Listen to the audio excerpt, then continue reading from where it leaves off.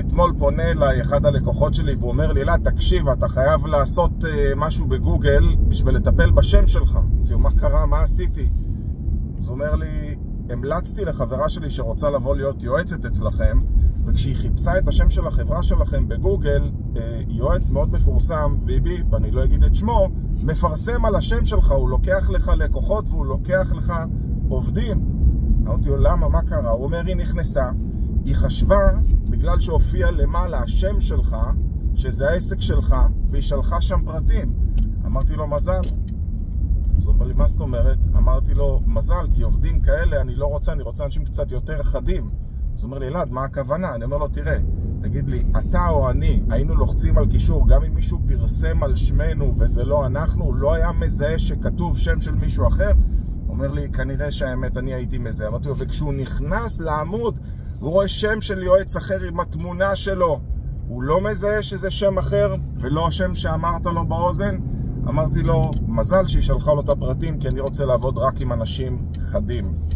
אל תתפשרו בכוח אדם שלכם אף פעם, כי הם אלה שמייצגים אתכם. הרבה אנשים מתלוננים ואומרים, אני רוצה עסק גדול ואני רוצה עסק מצליח, אבל אם אתה לא תמצא אנשים שהם יותר טובים ממך, יותר חריפים ממך, יותר מוכשרים ממך בדברים מסוימים, איך אי פעם תוכל לטוס לאלפים, לצאת לחופשות, להגדיל את העסק, לשים מנהלים, לצמוח.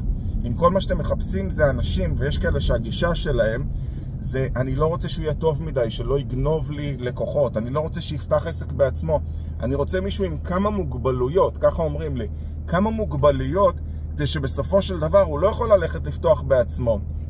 חבר'ה, מי שרוצה להיות עצמאי יהיה עצמאי. יש לי עובדים של 15 שנה שלא רוצים להיות עצמאים. הם החליטו שכיף להם וטוב להם, ודרך אגב, לפעמים שכירים מרוויחים יותר מעצמאים. אם תסתכלו על הדוחות רווח והפסד של רוב העצמאים, עזבו את המחזור שהם עושים, תסתכלו כמה הם לוקחים הביתה, הם מרוויחים פחות מרוב השכירים אצלי בעסק.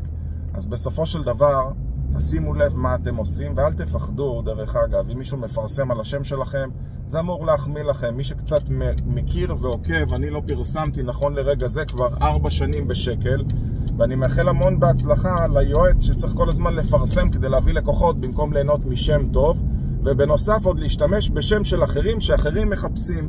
אז אני לא יודע אם אתם מאמינים בקרמה או באנרגיות או בלא משנה במה, אני מאוד מרוצה מהעניין שהוא צריך לפרסם על השם שלי והוא יודע שאני יותר טוב ויותר מבוקש ממנו, הוא צריך לשלם על לידים. זו הגישה שצריכה להיות לכם לחיים. תשנו את הגישה, אל תתקפלו, אל תפחדו, תלכו ותצליחו ושהשם שלכם יעשה את העבודה. יאללה חברים, שיהיה לנו יום נפלא ואנחנו נתראה בשיעור של מחר. ביי ביי.